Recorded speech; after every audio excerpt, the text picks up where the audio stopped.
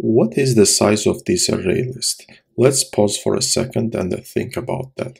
So what happens is when we create an array list or an array, array with the size of 100 in our case is created and we have 100 bucket where each bucket is referencing to an object that is created in the heap.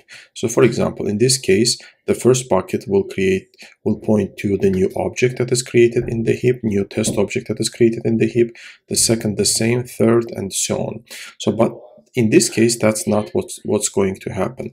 What happens in this case is that the, all buckets are pointing to the same objects, same object that is created in the special part of the heap, heap memory string pool. So what is what happens in the string pool is if we have a string that is already created, then in that case we are not creating a new object and uh, we are reusing the same object. So in this case, the size of this array list will not be 100, not 100 objects will be created, but it will be just one.